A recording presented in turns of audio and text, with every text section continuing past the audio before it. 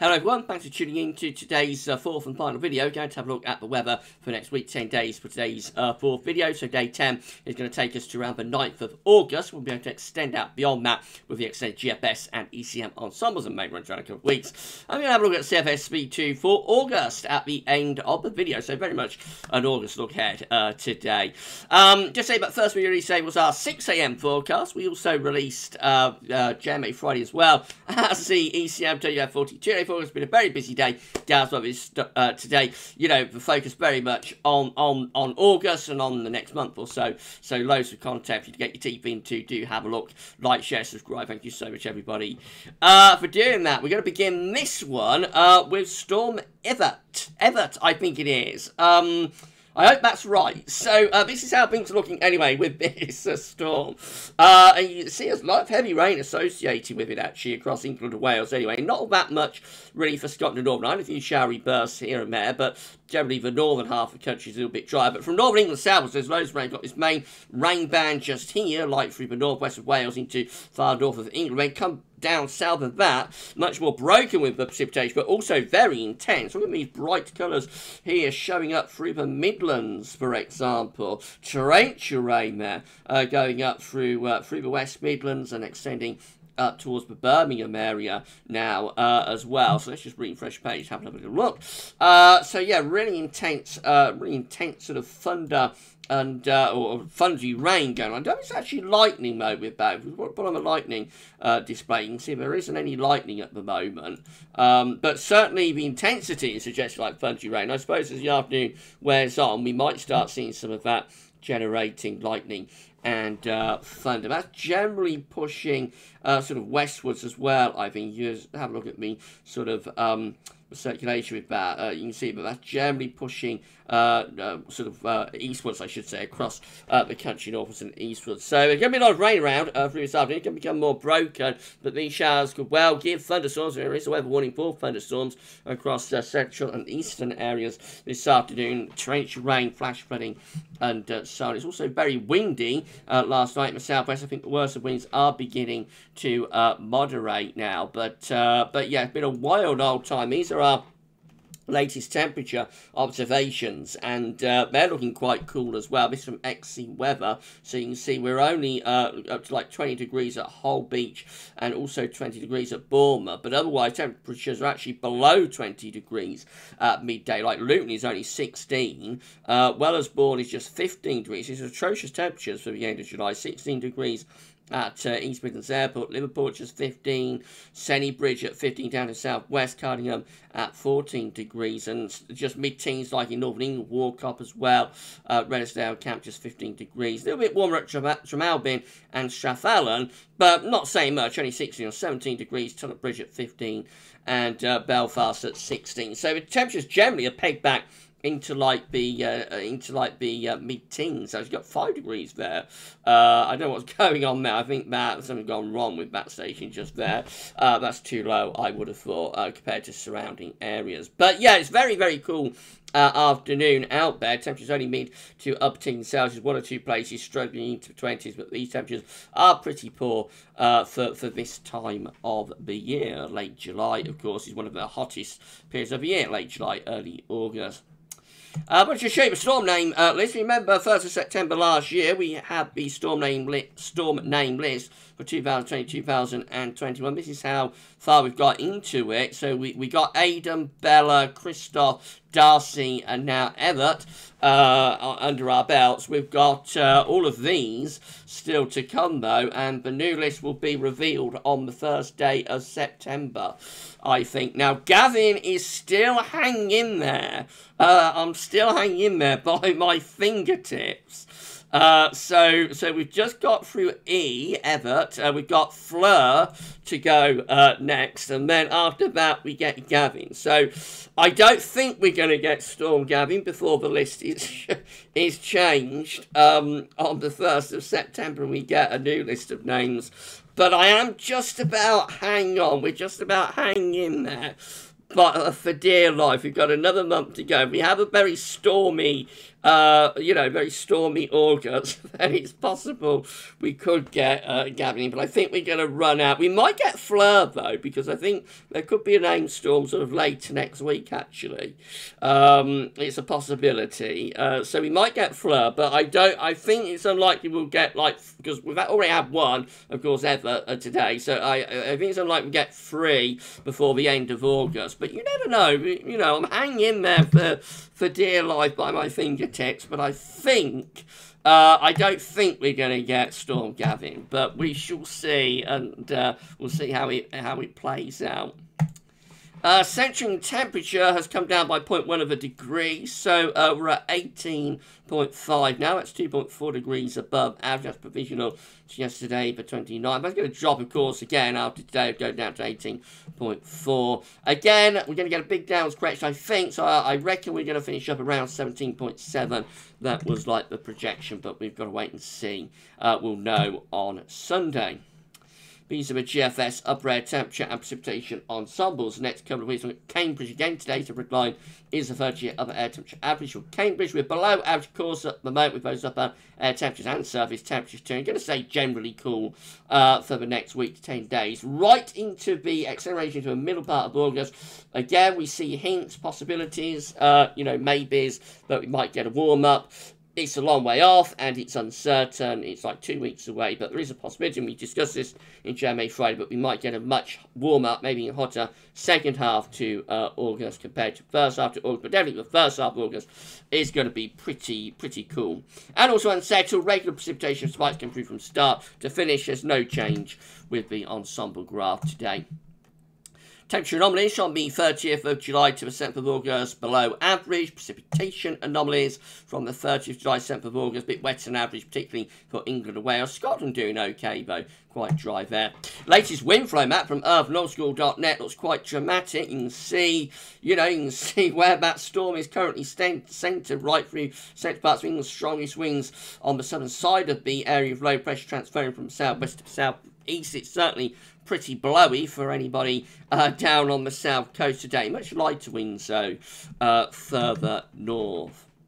Right, let's start going through some model data then. So uh, for this section of video, I should put webcam back on. Hello, return. Right, let's go through UK Met first of all. Then how UK Met is looking for midday tomorrow, Monday is second of uh, uh, no, I'm not talking about midday tomorrow. It's how it's looking for midday on Monday. Uh, in a northwesterly wind with some showery conditions in northern and eastern areas too. We go through to uh, Tuesday.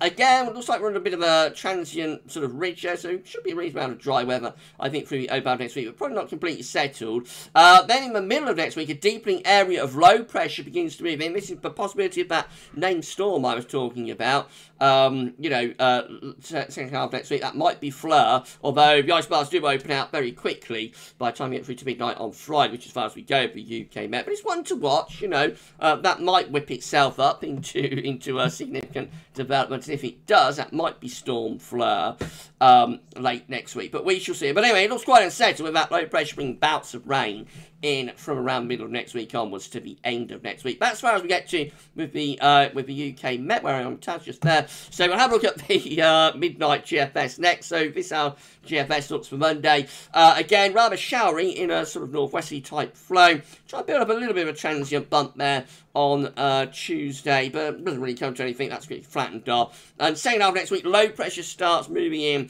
from off the Atlantic. This is quite a deep, this is a deepening area of low pressure, quite a significant low that develops through the second half next week. Will bring bouts of rain and cool northwesterly winds with it uh, as well. Stays unsettled into next weekend too, with further showery conditions uh, very likely. Um, and maybe towards daytime, we just start to open up the ice bars a little bit, start getting a little bit of a ridge uh, building from the southwest. It begins to settle down a little bit and warm up slightly in the south. And in more extended range, actually, we build this ridge through these west and southwestern areas, turning things mainly dry and pretty warm, you would have thought, possibly even um, you know, very warm down in the south and about Richmond Azores, but the north still looks a little bit unsettled, to be honest. In my the Azores High gives it a really good go to build in and, and turn us drier and hotter as we move up towards the middle of the August. Upper air temperatures have lifted up quite significantly. They're not hot, but they have lifted up to like the warm to very warm category. But very quickly, that ridge attempt is flattened off by this really deep area of low pressure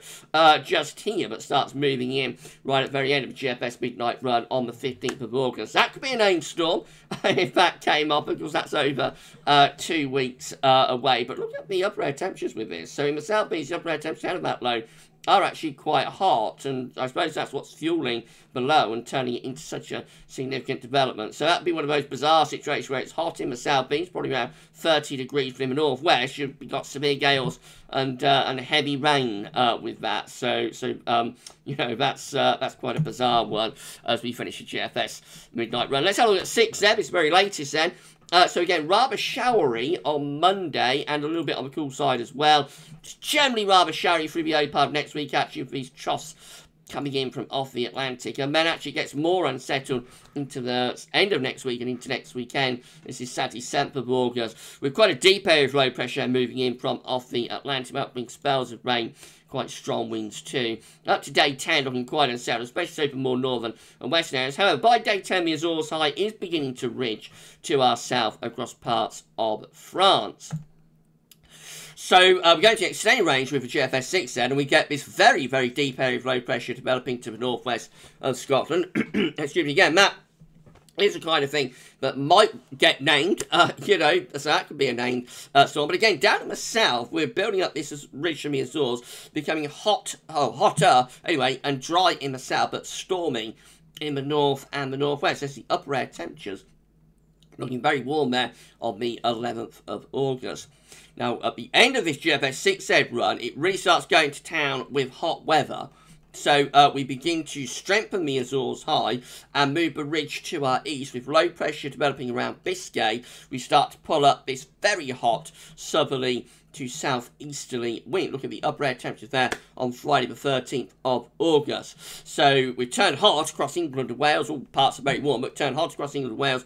We have got plus 20 Celsius isotherm beginning to move into northern parts of France. We haven't seen much of a plus 20 Celsius isotherm uh, so far this summer, but there it is across northern France on the 13th of August. And by the 14th of August, Saturday the 14th, that does actually get up into country, although it is turning increasingly thundery with this trough moving in from the west. So look at me, it says that plus 20 Celsius I'm going to highlight it for you. There it is, plus 20 Celsius isotherm is into the south for the first time uh, this summer. You know we get quite excited about plus 20 Celsius isotherm because that can lift us up into the upper 30 Celsius, around 100 Fahrenheit, uh, you know, in the middle of summer. It's a very long way off. It's two weeks away. Uh, and it's unlikely to verify. But the 6Z is really ramping up heat potential in middle of August there.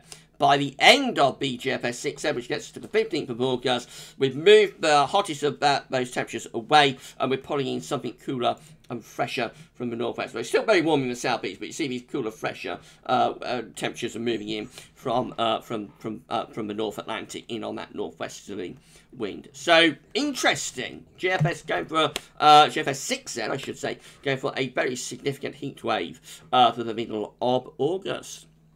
Uh, right, it's Albert. So if you enjoyed the video, then please can you smash your like button to make sure sub to the channel. Thank you so much, everybody, for doing that. And drop a comment let us know uh, what you think. This Albert GM is looking, again, under the ridge of high pressure, or trying to get under the ridge of high pressure on uh, Monday. But to be honest, it all looks rather showery through the early to middle part of next week. And then this quite significant area of low pressure comes in through the second half of next week. And that will bring spells of heavy rain and quite strong winds uh, with it too. It looks really unsettled as we move up towards day 10 and a trough of low pressure by which is the 9th of August, that trough is beginning to ease away to our east. It looks like we're trying to raise the heights a little bit, but you certainly wouldn't want to be predicting like a heat wave from that chart, uh, to be honest. Where that goes beyond that, you know, it, it could go in several directions. Um, and then the ECM looks like this. So uh, on Monday, uh, we're looking rather showery, especially for more northern and east areas. We keep it pretty showery through most of next week. This deepening area of low pressure just here to our southwest. Could bring some really quite wet weather to more southern areas in the second half of uh, next week. And then another quite significant area of low pressure comes in next weekend, brings a further bout of wind, uh, rain uh, with it. And up to day 10, we just look rather cool, showery on those uh, west to northwesterly winds. This is the precipitation forecast based on that ECM uh, midnight run from Meteo.com. So, of course, today we've got lots of heavy rain focus on England Wales. We'll have loads of showers coming up over weekend as well. Saturday is probably the sh most showery of two days. Sunday won't have quite as many showers. I'm heading to OPAD next weekend, but showers begin to ease down a little bit, but they will still be around for the OPAD next week before things turn more unsettled again for the second half next week with regular bouts of rain and wind coming in from off the Atlantic Ocean. Right at that point, turn off webcam and have a look at options on the table within the ECM ensemble. So these are them. Uh, so these are the options on the table within the ECM ensemble today for day 10. Gets us to the 9th of August via the Icelandic Met Office. 23 members of the ECM ensembles have low pressure over country and to our west. We're looking unsettled uh, and, uh, you know, wet and windy and, and whatnot without inclusive control and the operation run. 15, again, with low pressure over the country to west. That's very unsettled too. 13, just a little bit more high pressure towards Iceland, but lots of low pressure over to the south of the country. All options really are looking unsettled at day 10. In two weeks' time, uh, these are the options that we've got. This goes to the 14th of August. Have 18 members of the ECM ensembles with high pressure to our north, northeast, low pressure to our west. So that's turning a little bit drier, perhaps. Sending that trough out into the centre of the Atlantic. I'm probably warming things up a little bit as well. I think that could be starting to pull wind in from more of an easterly direction. 16 still quite unsettled with low pressure to north. Bit of high pressure over France, but that's generally going to be uh, rather Atlantic driven. Six, have a large ridge over to the west of the country and going north. That's going to be mainly dry. Uh, probably not overly warm with that, but it will be warmer than it is at the beginning of August anyway. Another six down here, showing high pressure from the Azores into UK and Western Europe. That's turning drier and much warmer. And five with high pressure sort of centred somewhere over top of country. Again, that could be mostly dry and quite warm. So by the middle of August, perhaps increasing signs in the thermal samples as well today of high pressure coming back. That does not necessarily mean it will be a heat wave because it depends on the exact position of the high pressure. So pulling up the extreme sort of heat that we saw for the 14th of August with the GFS 6Z, uh, for example, you know, is a is a big ask to do that to get the get the exact position of the ridge correct. Um, but definitely it looks like the ECM ensembles are on the move towards higher pressure for the middle of August. But before we get too carried away with all of this, let's just have a look at CFS V2 finally for August. This is the 700 millibar height anomaly today from the CFS. This will bring everyone down back down to earth, I think, because this shows for August a deep of below average height, low pressure centered over UK and Northern Europe as well. High pressure, the Azores high pulled well away from us into the middle of the Atlantic. We send a jet stream and wind flow on a northwest southeast alignment. Just looks cool and unsettled, really uh, for, for August with that. It's very, very, very different pattern compared to what we've had in uh, June and July. And, uh, and yeah, that is going to be an unsettled, cool, and potentially quite wet August. The temperature anomaly for August actually below average today. Uh, cool month coming up through most parts of Europe uh, as well. So it's a rather chilly August forecast there. And the precipitation anomaly doesn't show any particular signal, but obviously with a deep trough centered right over top of the country, a deep trough of low right over country and northern Europe, you'd expect uh, a very unsettled month of it if, uh, if that came off. So it's all speculation. Uh, definitely the next week to 10 days, the first week 10 days of August are going to be unsettled, as we've been saying in the videos over the past sort of several days. Um, going to be unsettled the first week, 10 days of August, definitely, and quite cool. There are increasing signs, but the middle of August might uh, bring some hotter and drier weather, whether we go to the sort of extreme heat that the GFS 6 was showing, uh, you know, uh, remains to be seen. But a few signs that high pressure could come back middle of August, turn us drier and, uh, warmer. So August might not be a complete write-off, despite what the CFS is uh, suggesting. But uh, again, it's all speculation, and we'll have to wait and see how it all plans out. Of course, we're going to keep you updated about all of this at Gals Weathers over the next few days.